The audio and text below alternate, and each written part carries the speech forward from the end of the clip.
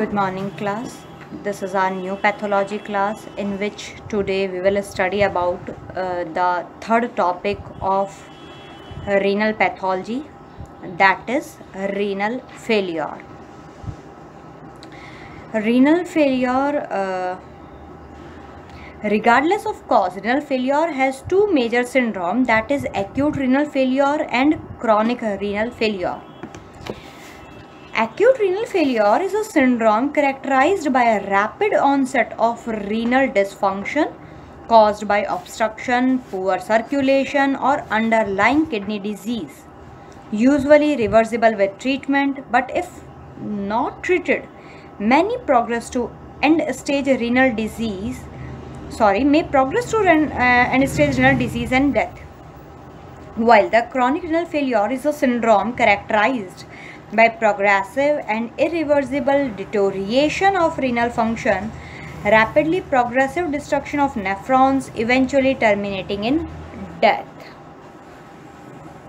तो भाई renal failure में क्या हो रहा है रिनल फ़ंक्शन दोनों किडनी के अंदर रिनल फ़ंक्शन सिग्निफिकेंटली लॉस होने शुरू हो जाता है इस पॉइंट तक कि नॉर्मल जीएफआर तो केवल 10 से 20 परसेंट ही रह जाती है, बाकी सारी बिगड़ चुकी होती है।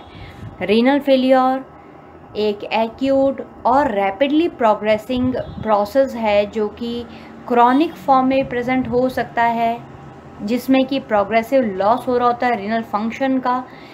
कई सालों तक ये ऐसा प्रोग्रेसिव लॉस चलता रहता है। एक्यूट रीनल फेलियर एक यह अचानक शुरू हो जाता है और ये पोटेंशियली रिवर्सिबल होता है। ये चीज़ें मैंने भी आपको पहले ही बोल के बताई कि इसको अपन ठीक कर सकते हैं अगर अपन चाहें तो।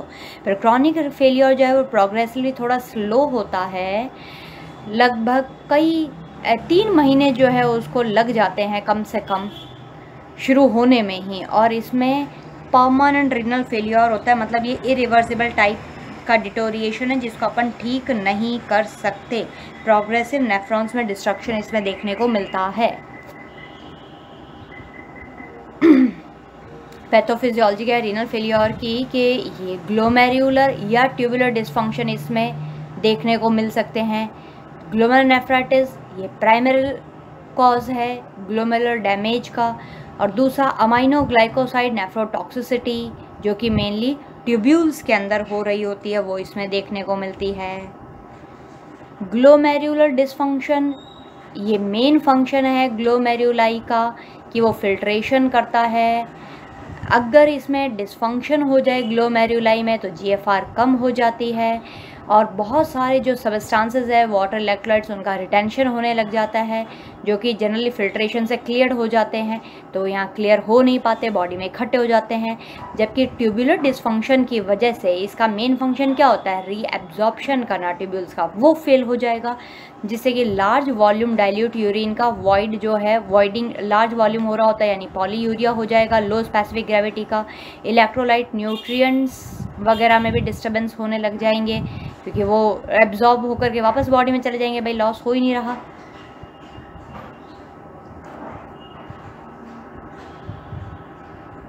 वापस यूरिन में, वो वापस बॉडी में जाएँगे क्योंकि रीअब्जॉर्प्शन एक्चुअली फेल हो रहा है तो वो बॉडी से निकलने लग जाएँगे। तो वाटर निकलने लग जाएगा इलेक्ट्रोलाइट्स और न्यूट्रिएंट्स निकलने लग जाएँगे, इसीलिए पॉलीयूरिया कॉज हो रहा है।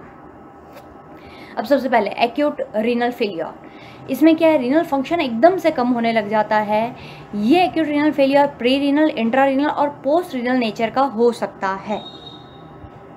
एक्यूट रीनल फेलियर अक्सर रिवर्सिबल होता है, पर अगर ये लंबा चल गया तो हो सकता है परमानेंट इंजरी हो जाए किडनी के अंदर, जो जनरली होती तो नहीं है। पर हाँ अगर परमानेंट हो जाए तो वो क्रॉनिक रूप ले लेगी। इसके मैनिफेस्टेशन में पर्सन का यूरिन आउटपुट कम हो जाएगा। एडिमा होने लग जाता है फ्लूड रिटेंशन होने लग जाता है फ्लूड रिटेंशन की ही वजह से एडिमा हो रहा है। बन का अमाउंट बढ़ जाएगा ब्लड यूरिया नाइट्रोजन लेवल बढ़ जाता है सिरम क्रेटिनिन लेवल बढ़ जाता है सिरम इलेक्ट्रोलाइट ऑल्टर्ड हो जाते हैं एक्यूट रीनल फेलियर में। और जो हमने अभी ऊपर सेकंड पॉइंट में मैंने आपको कहा pre renal intra renal post renal इसके कॉजेज हैं तो प्री रीनल में क्या होता है? Diminished blood flow to nephrons and hypoperfusion due to hypovolemia hypotension decrease cardiac output intra renal causes में disease of renal tissue due to nephrotoxins और ischaemia post renal causes के अंदर obstruction to flow of urine due to anticholinergic drug infection tumours blood clots calculi ये सब देखने को मिलता है। अब कॉजेज एक्यूट रिनल फेलियर के तो भाई किसी पर्सन को मायोकार्डियल इन्फॉक्शन हुआ हो रेप्डोमायोलाइसिस हुआ हो, या ब्लड फ्लो कम होता हो, ये सारे डिसऑर्डर्स हैं ऑब्स्ट्रक्शन आ जाए हीमोलाइटिक यूरेमिक सिंड्रोम हो जाए ग्लोमेलोनेफ्राइटिस हो जाए तो एक्यूट रिनल फेलियर हो सकता है।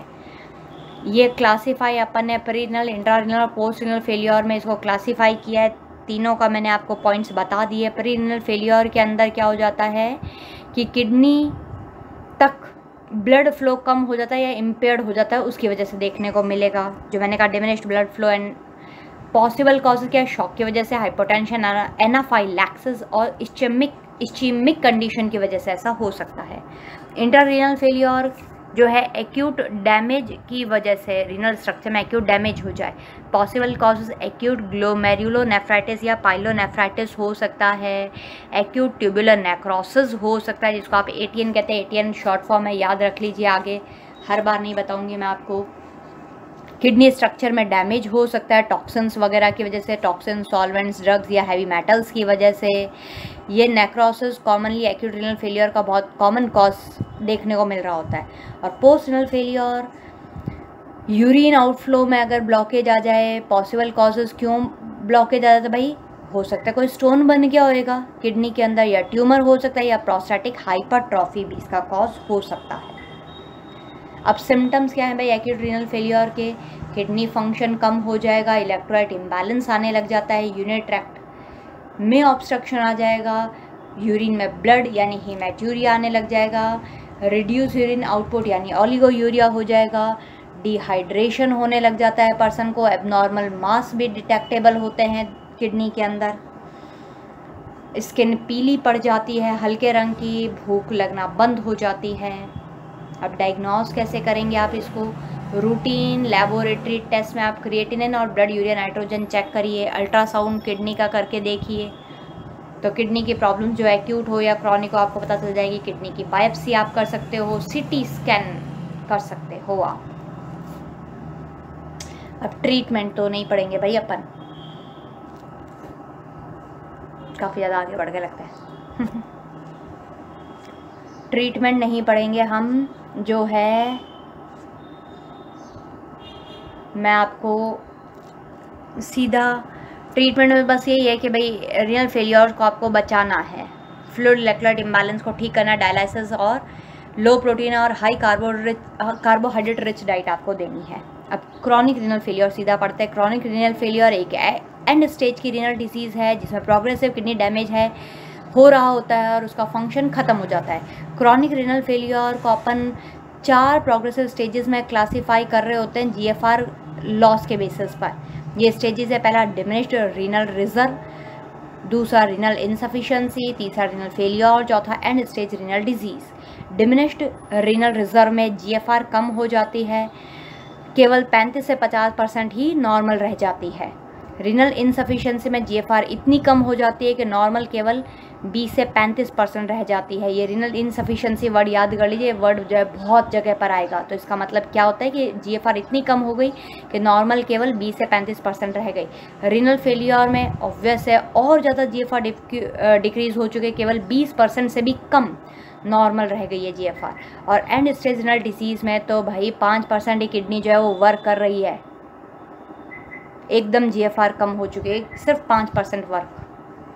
कारण क्रोनिक ग्लोमेलोनेफ्राइटिस इसका बहुत बड़ा कारण हो सकता है। इसके अलावा कोई दूसरा क्रॉनिक इन्फेक्शन हुआ हो रीनल में लंबे समय तक ऑब्स्ट्रक्शन रह रहा हो, कोई टॉक्सिक केमिकल्स टॉक्सिन्स ड्रग्स का एक्सपोजर अगर हो रहा हो, जो नेफ्रोटॉक्सिक ड्रग्स होती हैं डायबिटीज़ जिनको रहती है, हाइपरटेंशन हमेशा बन रहती है, नेफ्रोस्क्लेरोसिस हो जाता है। नेफ्रोस्क्लेरोसिस बताया हुआ है ब्रैकेट में कि रीनल की आर्टरी में जब एथेरोस्क्लेरोसिस हो जाता है उसको, नेफ्रोस्क्लेरोसिस कहते हैं। नेफ्रोस्क्लेरोसिस पहले भी आपके दो डिज़ीज़ में टर्म आई हुई है। डायबिटिक नेफ्रोपैथी किसी को हो गई हो, एल्पॉट सिंड्रोम, ये एक जेनेटिक डिज़ीज़ है जिसमें कि बहरापन हो जाता है, लगातार किडनी में डैमेज हो रहा होता है और आई में भी डिफेक्ट होता है। पॉलीसिस्टिक किडनी डिज़ीज़ किसी को हो गई, जिसमें किडनी में खूब सारे सिस्ट बन जाती हैं, या इंटरस्टिशियल नेफ्राइटिस पाइलोनेफ्राइटिस किसी को हो जाए। अब क्रॉनिक रिनल फेलियर के सिम्टम्स क्या हैं भाई? जब तक कि until very kidney function remains chronic renal failure में नॉट डेवलप अगर रिनल फ़ंक्शन अभी भी सही चल रहे हैं तो क्रॉनिक रिनल फेलियर नहीं होता है। प्लस इसमें एनीमिया रहने लगेगा, जिसमें फॉस्फेट का अमाउंट ब्लड में बढ़ जाएगा। ये किडनी फेलियर के कॉम्प्लिकेशंस हैं।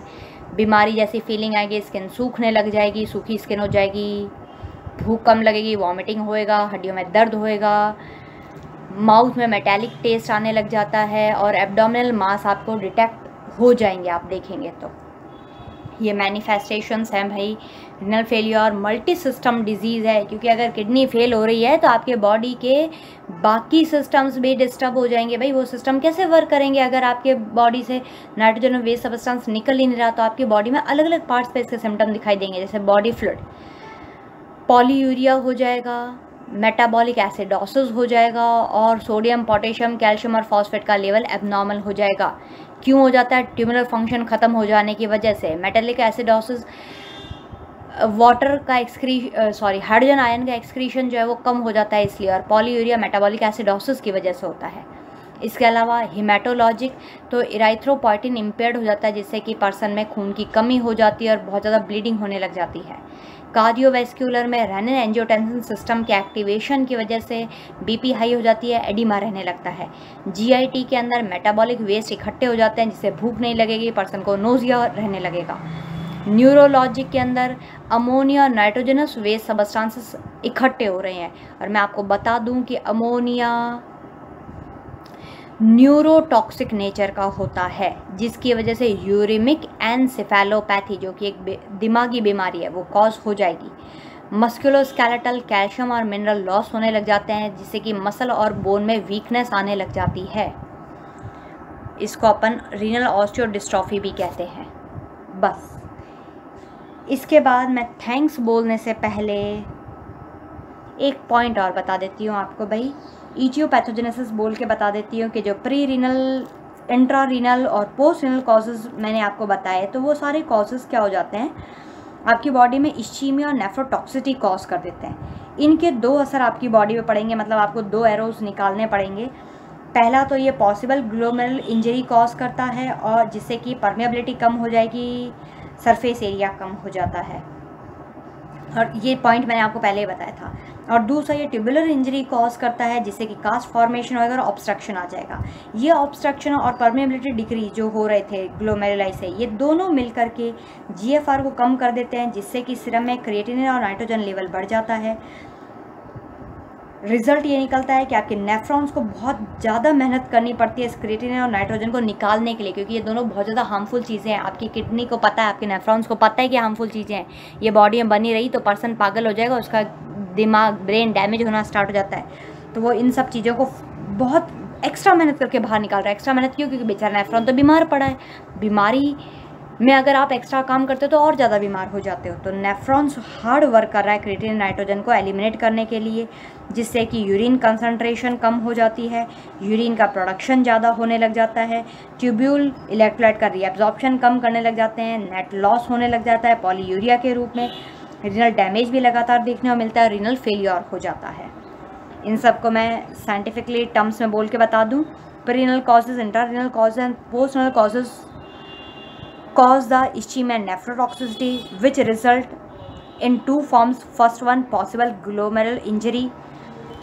Result in decreased permeability and decreased surface area while other form show the tubular injury cause formation obstruction arrow arrow बना करके ऐसे लिखते जाइएगा बोथ बोथ मतलब ये जो ऑब्स्ट्रक्शन परमेबिलिटी डिक्रीज हुई थी ये मिलकर के क्या कर रहे हैं decrease glomerular filtration rate result in serum creatinine and nitrogen level increases which causes nephrons work harder to eliminate creatinine and nitrogen which causes decreased urine concentration result in urine production increases tubular decrease reabsorption of electrolyte arrow net loss occur arrow renal damage progresses which causes renal failure तो ये पूरी ईटियोपैथोजेनेसिस है जिसको आपको arrow arrow लगा करके लिखना है आप लिख लीजिएगा मैंने पूरा आपको बोल करके बता दिया है बस इसके साथ ही आज का अपना ये टॉपिक यहीं ख़त्म होता है। इतना काफ़ी है आपके लिए।